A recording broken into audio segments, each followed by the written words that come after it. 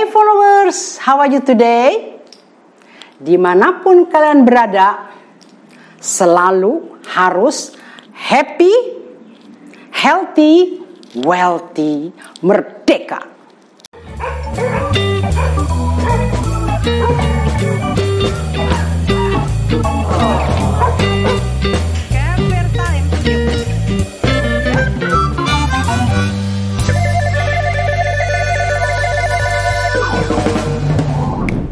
Hari ini TM akan membawakan acara cerita How to Become Rich. Bagaimana kita menjadi kaya. Semua orang di dunia ini pasti ingin menjadi kaya. Tapi ada yang beruntung dan tidak beruntung. Di situlah letaknya. Di sini TM akan ajarkan step by step how to become rich. TM bicara ini bukan karena sombong, bukan karena mau show off, tidak. Karena ini menurut pengalaman TM sendiri. TM adalah orang yang suka berbagi Misalnya, bukan how to become rich, how to become healthy, how to become beautiful, how to become smart, semua dengan gampang kita bisa dapatkan. Oke?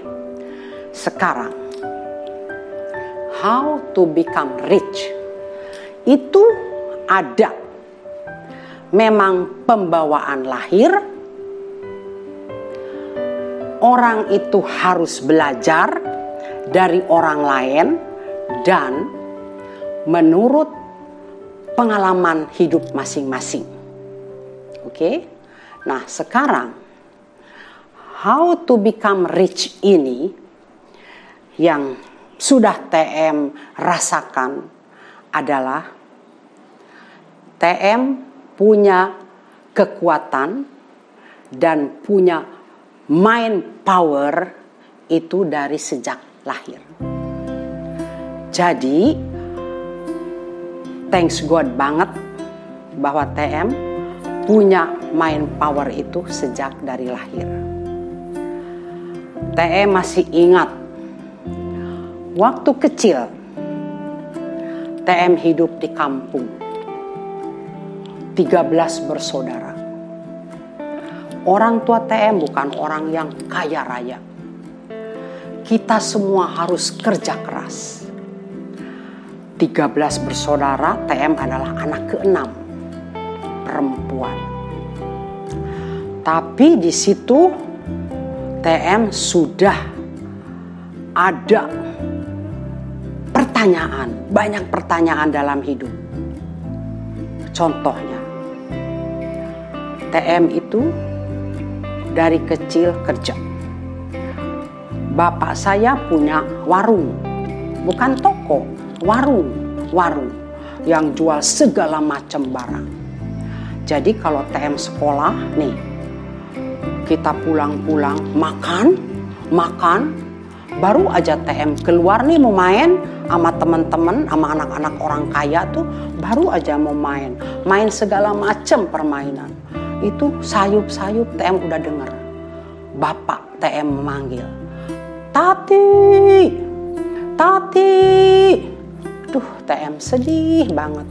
Kenapa ya my father nggak merasakan kebahagiaan anak kecil kok udah dipanggil TM lari-lari ada apa pak ada apa pak itu itu bukan TM aja kakak-kakak TM juga dipanggil kerja kerja kalau orang tidak kerja tidak dapat duit, kata ayah saya.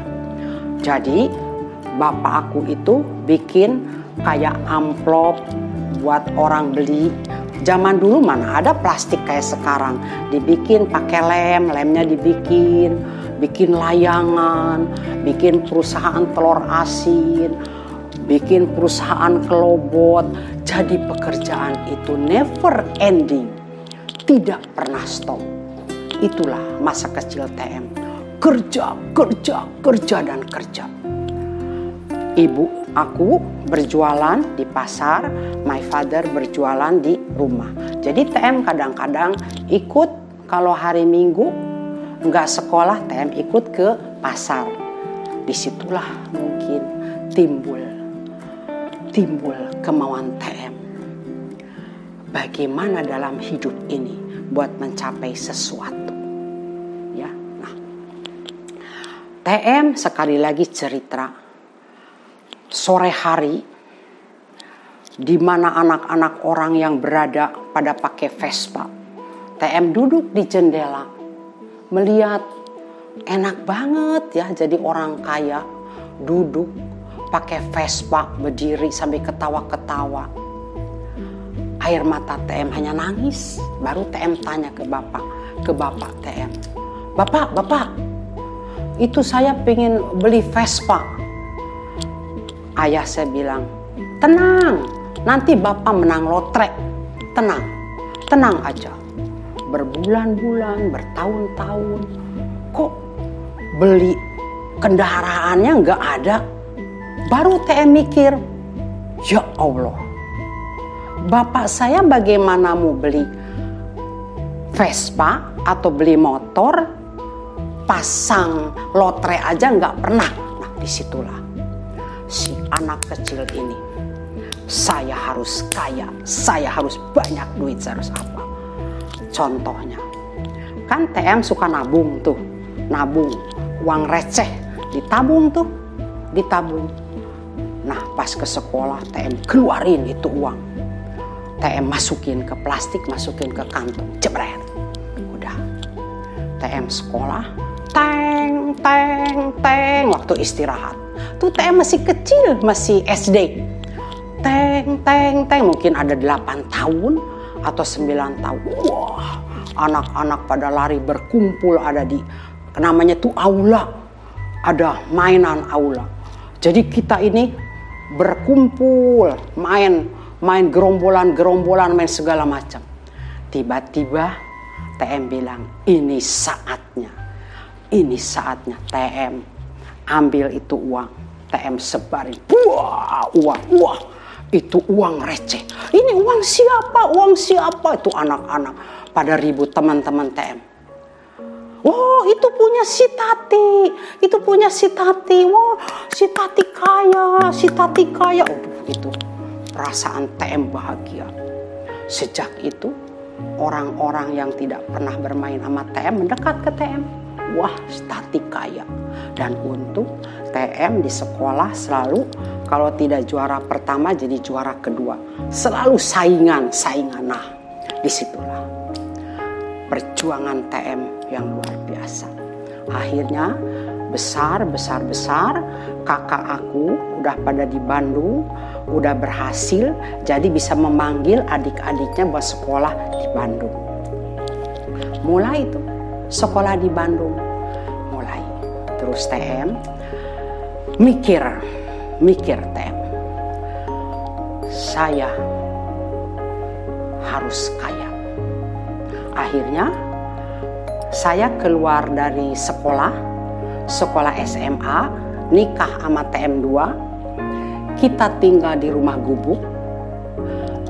Rumah gubuk yang apa ya yang artinya tuh bukan gubuk tapi rumah yang aduh bukan lantainya juga bukan dari keramik lantai dari semen lantai dari apa tapi TM punya tekad. Lahir anak pertama lahir anak kedua lahir anak ketiga. Nah baru anak ketiga. Saya bilang saya harus kaya jadi waktu jalan-jalan pagi sama anak-anak sama TM baru uh, ada sawah ada ada kebun orang ada apa. Terus saya bilang sama suami saya Har one day ini bakal milik Tati. Aku bilang gitu one day ini bakal milik Tati. Terus TM2 bilang gini what jangan bermimpi Tat jangan bermimpi kita makan aja sering sama garam. No. Aku yakin yang namanya Tati pasti bisa kaya dan bisa makan setiap hari daging. Dengan perjalanan waktu, ucapan itu menjadi kenyataan. Apa yang TM inginkan berhasil. Dari mulai tidak punya rumah, punya rumah, dari mulai tidak punya tanah, punya tanah, dari mulai tidak punya mobil, punya mobil, sampai kakak TM bilang, semua saudara TM bilang ini, aduh si Tati ini ya, kalau mau beli mobil kayak beli kerupuk, kayak mau beli terasi, yes, you are right. I can buy anything I want karena dengan kekuatan mind power. Sebentar nanti TM akan ajari how to become rich ya. Nah, ceritanya sebelum itu TM2 harus berangkat ke Australia sekolah buat master. Jadi waktu itu TM belum belum belum punya apa-apa, belum. Waktu TM2 sekolah. Tapi setiap kali TM bilang sama TM2, saya pasti kaya, saya pasti punya ini. Alah Tat, jangan bermimpi terus Tat, jangan bermimpi. Akhirnya TM2 berangkat ke sana, tiba-tiba TM2 telepon. Tat, Tati, Tati apa yang diomongkan Tati itu benar Tat. What happened? What's wrong? Kenapa? Kenapa? Kata TM2 bilang, saya ketemu satu orang yang mengajarkan mind power. Bahwa apa pun yang kita inginkan pasti terjadi. Kata TM2. Nah itu kan, kenapa? Kenapa Haro nggak percaya terus sama aku? Saya bilang gitu. Bilang, aku bilang, kenapa aku nggak, kamu nggak percaya terus ke aku? Sekarang kamu bayar berapa? Saya bayarnya ke uh, orang ini, aduh lupa lagi namanya, orang terkenal di Australia, uh, namanya itu, aduh lupa banget. Pokoknya ini pinter banget TM buat menjadi punya main power itu bayar 500 dolar. Padahal TM1 tidak usah bayar karena itu dengan main power dari sendiri. Nah, begitulah.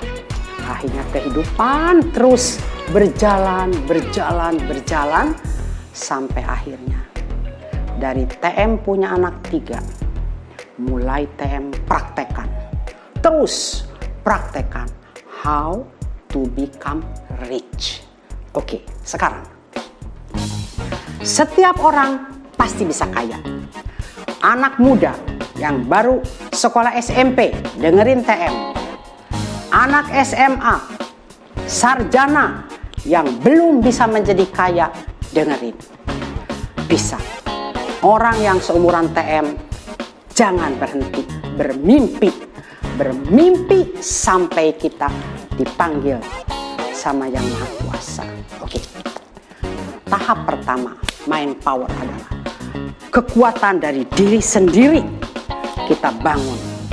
Kita percaya, yakinkan dulu kepada diri kita I can do it. Saya bisa kaya. Saya bisa pinter. Bisa segala. Sekarang. Kalau kamu mau mobil. Oke? Okay? Bilang. Ada mobil lewat. Ada yang mau mobil Innova, silahkan. Ada yang mau mobil Mercy, silahkan. Ada yang mau mobil Jeep, silahkan. Kamu lihat, lihat di jalan. Hmm, saya bisa beli mobil itu yang mewah. Jangan kamu bilang orang di sebelah kamu jangan kamu anggap gila. No, I'm not crazy. I can have that car. Oke, okay. sekarang kamu pengen rumah. Rumah yang sederhana kamu minta. Rumah yang medium kamu minta. Rumah yang paling mewah kamu minta. Bisa dengan kekuatan TM bilang kepada diri sendiri, saya akan bisa punya rumah puluhan. Kayak orang gila kan, TM dianggapnya kan. uh orang akan gila. Tapi TM yakin Allah berikan saya tidak tahu bagaimana jalannya, saya akan punya rumah puluhan. Dan itu terjadi. Ingat, TM tidak dapat sedikit pun warisan dari orang tua. TM 2 sedikit pun tidak dapat. Oke, jadi satu mau jadi kaya, dengar ya. Jangan sekali-kali kalian bilang tidak punya uang. Jangan sekali-kali. Dompet selalu harus ada uang. Dari dulu TM mau uangnya puluhan, mau uangnya lima ribuan, mau uangnya berapa TM taruh di sini. Sekarang zaman canggih hanya dengan pakai kartu. TM tidak setuju. Uang di sini harus ditaruh. Kita tidak mungkin lari-lari. Banyak nih contohnya, Kabima sama Kasena. Malam-malam perlu duit. Mam, saya perlu uang, Mam. Perlu uang. TM tahu nggak? Bilang berapa? Berapa yang kamu punya? Yang kamu butuhkan? TM hanya keluarin jebret. Nah itulah. Jadi rahasia ada di sini. Jangan sekali-kali, misalnya ada orang, Hei Tat, kamu ada uang gak Tat? Aduh saya nggak punya, sorry. Kamu tidak akan punya terus. Tapi kalau ada orang tanya, Tat ada uang? Ada. Kenapa? Saya perlu. Perlu berapa? Kalau kita misalnya orang itu perlu katakan 100 ribu, kita kasih 50 ribu. Mudah-mudahan uang itu bermanfaat. Kalau kita di sini ada uang 5 juta, ada orang perlu 500 ribu. Bilang, kapan kamu kembalikan uang ini? Kalau kamu mau kasih, kamu kasih. Tapi kalau mau dikembalikan, kapan mau kembalikan? Just trust them. Percaya mereka. Kasih. Dompet kita tidak akan pernah kosong. Ya. Jadi jangan pelit. Jangan pura-pura miskin. Walaupun miskin, kamu pura-pura kaya. Maka kamu akan menjadi kaya. Kamu tidak ada duit di kantong. Tapi kamu bilang, hei dompet, kamu ini hanya dompet. Isi dompet ini dengan kekuasaan Allah. Ada. Ya, ada. Jadi, TM tidak pernah kosong. Uang. Selalu uang itu ada. Selalu TM ke mana aja bawa uang. Ya, nah sekarang dengerin. Sebelum tidur, kalau orang muslim itu zikir namanya. Zikir, TM tidak tahu kalau dalam agama lain. Zikir itu zikir kekuatan kita kepada Allah yang Maha Kuasa, terus minta apa yang kita minta dari Allah. Kamu mau kaya, kamu mau mobil, kamu mau apa? Bilang. Dan ingat, ini uang ini hanya kertas. Uang ini hanya kertas bikinan manusia. Kenapa kita tidak bisa? Kenapa kita tidak bisa mendapatkan bikinan manusia? Ini hanya uang, ya. Jadi kalian bayangin sebelum tidur, kamu bayangin uang. Uang datang. Uang datang. Allah berikan saya uang. Datangkan saya uang. Yakin, yakin, yakin. Ada jalan menuju ke situ. Kamu yakin dulu uang itu akan datang. Ya. Jadi mind power bisa menarik semua kemauan kita. Mau apa pun, semua mind power. Tapi kalau manusia tuh sudah tidak ada mind power, boro-boro bisa mendatangkan uang. Buat kesehatan dirinya aja tidak bisa. Mind power, kekuatan pikiran itu yang paling bagus ya. Nah, mungkin caranya begini. Kalau kita udah punya keyakinan mind power yang tinggi, bisnis, ada orang peluang bisnis. Oh, ini kita ada bisnis nih, jangan jauh-jauh. Bisnis online, jualan pisang goreng, jualan apa? Tapi kalau kita tadi udah main power kuat dan kita membayangkan uang banyak, segala jalan bisa bisa ketemu. Ya. Bisa ketemu. Orang tua jangan seorang anak, orang tua kayak TM, orang-orang tua jangan punya perasaan minta tolong kepada anak. Anak itu ada menantu, Anak kita itu ada anak cucu kita. Mereka ada butuh kita. Jangan kita mengganggu. Sampai tua kita bisa. Kalau perlu kita kasih cucu anak. Ya. Jadi how to become rich sangat gampang. Peluang bisnis kalau kita main power kita kuat, kita diasah otak kita dari mana aja ada orang nawarin, misalnya ya, mau jadi kaya, ada orang nawarin tanah. Aduh, saya nggak punya tuh harga tanah yang begitu mahal, beli yang paling murah. Biarkan itu tanah. Usaha apa pun akan jalan, percayalah. Jadi, TM di sini hanya bilang hanya bilang dulu ini sekilas info dulu, ya how to get rich, how to become rich, tapi kita bahagia. Ya, kita bahagia. Jadi ini hanya sebagai luarnya aja. Tapi nanti TM akan ulas lebih dalam lagi how to become rich. Kalian semua boleh ke DM, ke TM, nge-DM, tanya semua. Insya Allah TM akan bisa jawab. Buktinya sekarang dengan main power itu sekolahan-sekolahan, universitas ada yang mengajar khusus tentang how to make the mind power growing, mind power working. Itulah.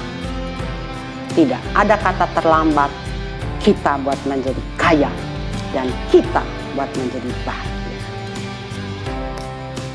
Oke, mungkin uh, cerita TM hanya sampai di sini aja, tapi nanti TM akan bikin lagi cerita yang lebih mendalam. Prinsipnya, jangan putus asa. Don't be afraid. Forward. Oke? Okay? Terus maju terus maju. Oke followers, semoga kalian bisa otak-otak kalian semua mempunyai mind power yang tinggi, bisa dilatih ya. Don't forget to like, comment, and subscribe. I love you.